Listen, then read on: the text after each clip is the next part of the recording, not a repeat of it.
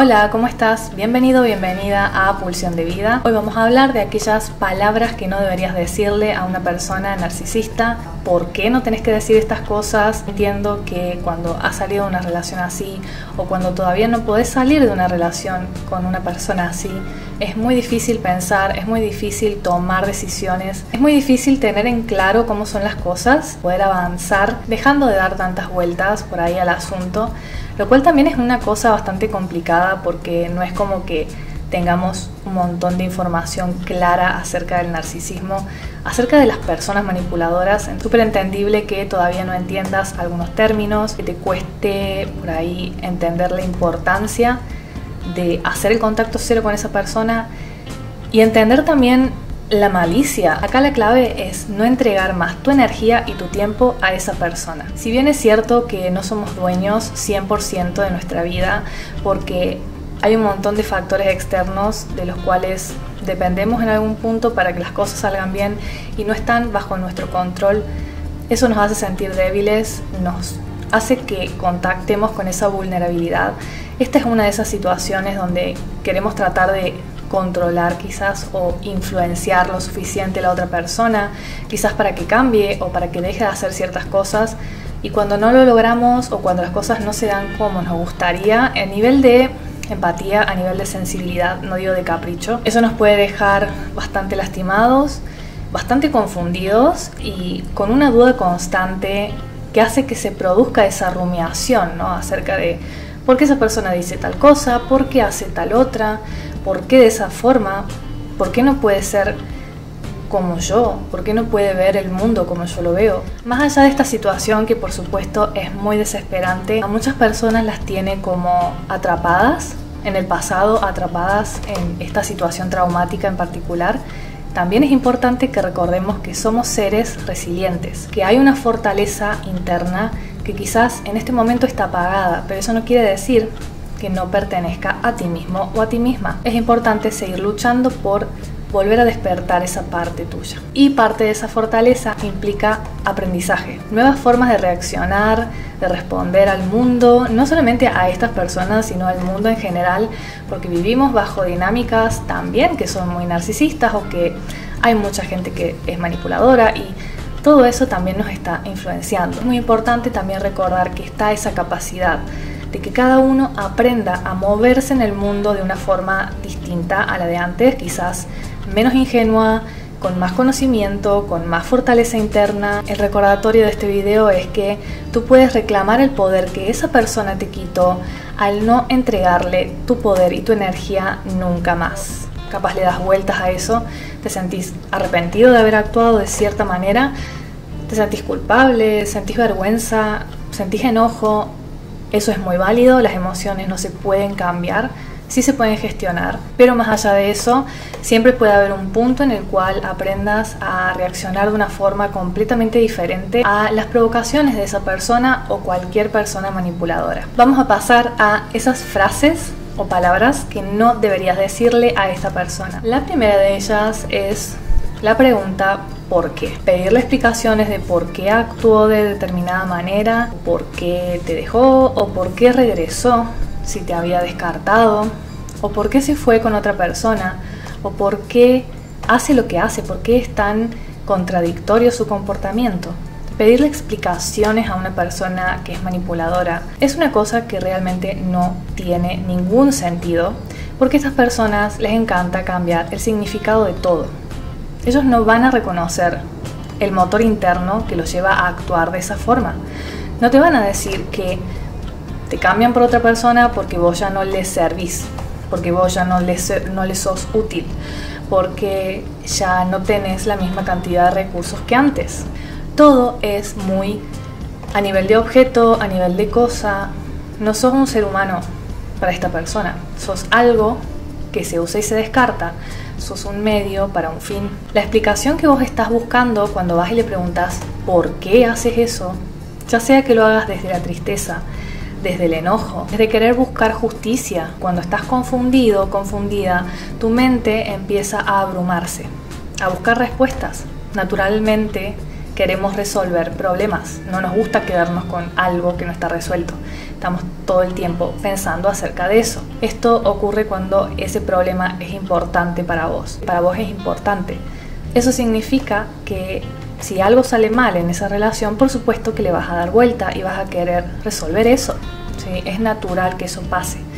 Pero querer ir a buscar a esta persona para que juntos resuelvan el problema o por esa confusión, ese lío mental que tenés con toda la información que estás absorbiendo, querer que esta persona justamente te resuelva esas dudas, es lo peor que puedes hacer. Te va a cuestionar en realidad tu sanidad mental. Te va a decir que sobrepensas demasiado. Siempre va a dar vuelta a todo y va a hacer que te sientas culpable. No tiene realmente ningún sentido. Además porque que le pidas explicaciones va a hacer que entres de vuelta en ese ciclo destructivo, donde la duda te mantiene estancado en el pasado o dentro de ese ciclo abusivo, no pudiendo salir de esa burbuja. Por supuesto que toda tu energía, por más que sea solo mental, está completamente abocada a esa persona. En este punto es importante entender el término gaslighting. Es un término inglés que se usa para confusión mental o enloquecer a las demás personas, cambiar las cosas, cambiar las percepciones, hacerte sentir que estás mal, que todo lo que percibís está mal. Cada vez que entras en un cuestionamiento con esta persona, es el gaslighting lo que va a poner en marcha. No soy el problema, sos vos, no, en realidad vos tenés un trastorno o estás enfermo, estás loco y todo el mundo dice que, que estás loca o lo que sea. Pero siempre están buscando que el problema seas vos. Estás leyendo de más, que no tiene nada que ver eso que estás diciendo con lo que ellos hacen. Incluso pueden hacerte este gaslighting cuando vos tenés las pruebas en mano. Pueden negarte tu realidad con las pruebas en mano. Imagínate el peligro que eso significa para tu salud mental.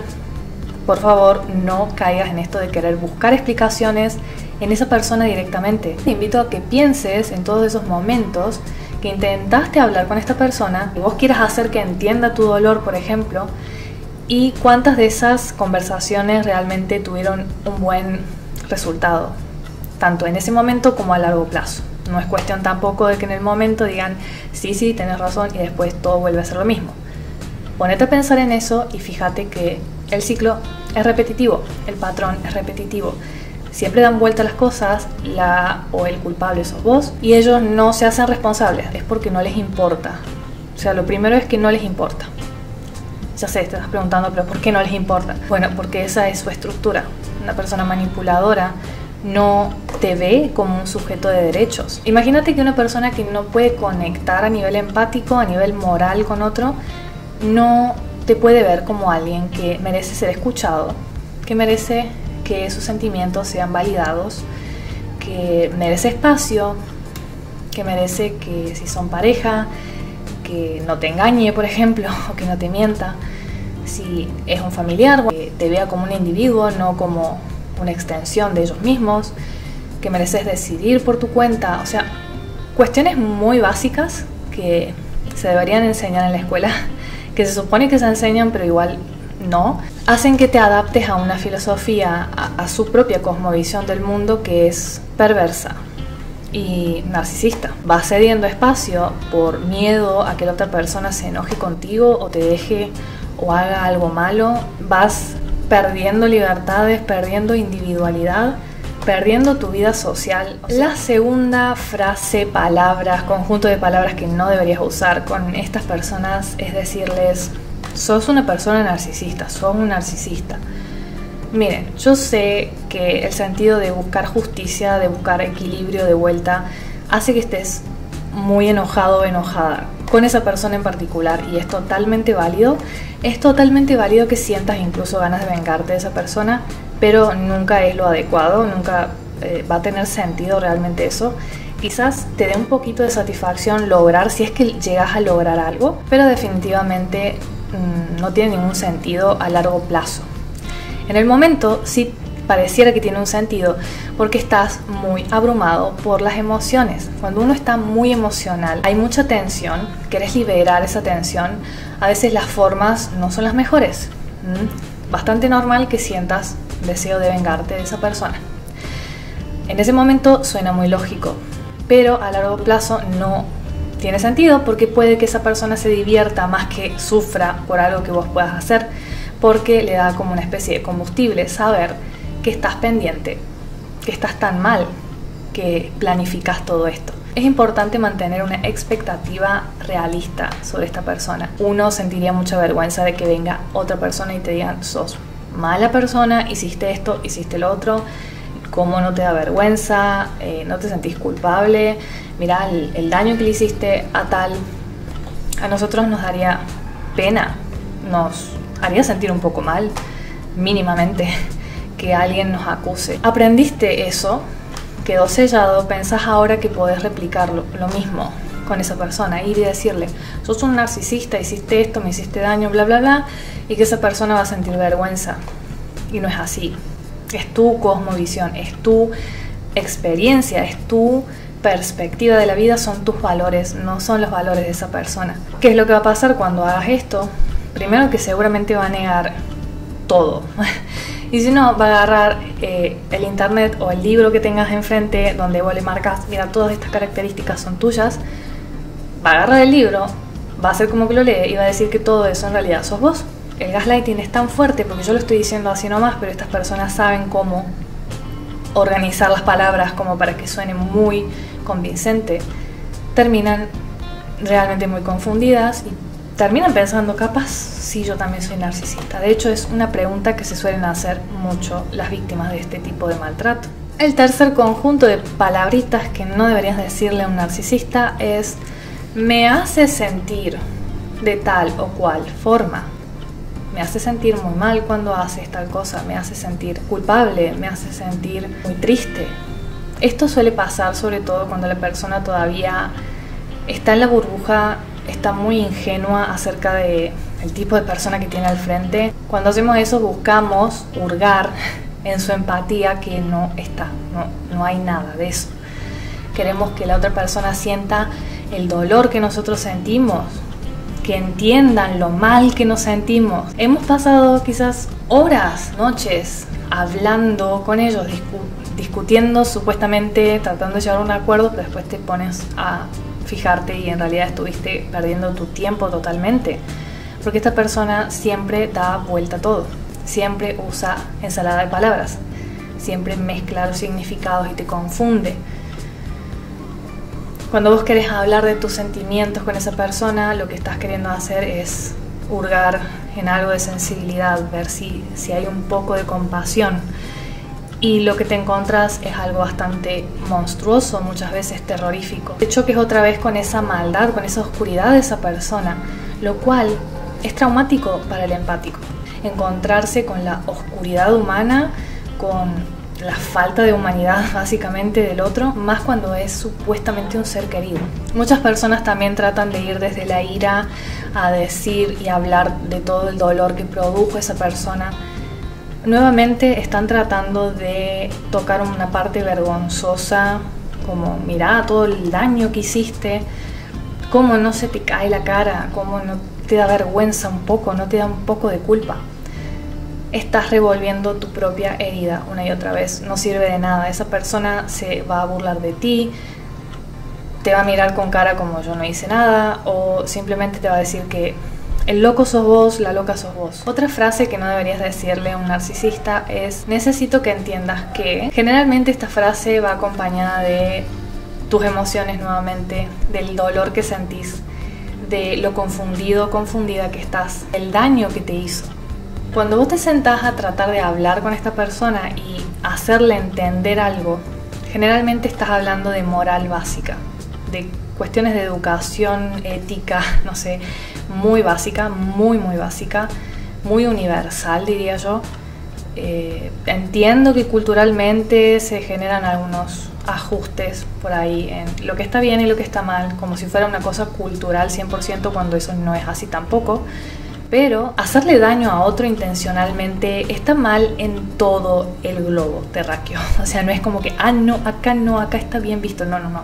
Que nosotros socialmente estemos distorsionando las cosas es otra cosa, ¿no? Venimos también de toda una historia de traumas probablemente de la infancia. Padres que quizás han hecho exactamente lo mismo que nos han enseñado a que sintamos culpa todo el tiempo, a que nos hagamos responsables de todo lo de todo el mundo, ¿no? Venimos de historias de una carga de culpa muy fuerte.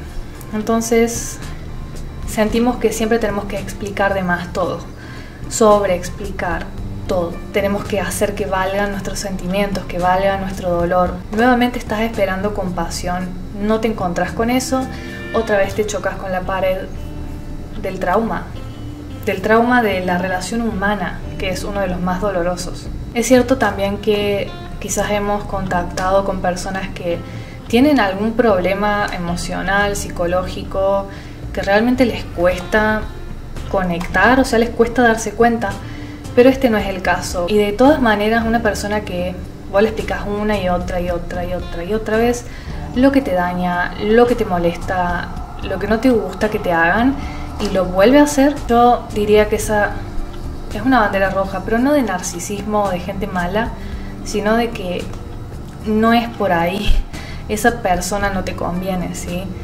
Porque podemos ser muy compasivos con los demás, pero también es bueno y es equilibrado y sano que podamos ser compasivos con nosotros mismos. Entonces cada vez que una persona se comporta de esta forma, no necesitas que alguien más te diga, es un narcisista, es un psicópata, es manipulador, porque esto ya de por sí es muy dañino para tu salud mental necesitamos reciprocidad. Y la persona que no pueda dar esa reciprocidad lamentablemente tiene que quedar fuera de nuestra vida. O por lo menos tenemos que ponerles muchos más límites, tratar de que estén más alejados por el bien de nuestra salud, de que mentalmente estemos bien, porque si mentalmente no estamos bien, hay un montón de cosas que no podemos hacer. Me gustaría que me dejes abajo más frases o palabras que entiendas que no hay que decirle a un narcisista o a cualquier tipo de manipulador y quizás tu experiencia con esto, porque por supuesto que de todo eso también aprendemos. Si no te suscribiste, hacelo abajo en el botón que dice suscribirse en rojo, activas la campanita para que te pueda avisar cuando suba un nuevo video. Si te interesa conseguir mi libro, La estafa emocional, donde hablo de todos estos temas un poco más ampliado, con un poco más de marco teórico para entender mejor los conceptos que hablamos acá, voy a dejar el link abajo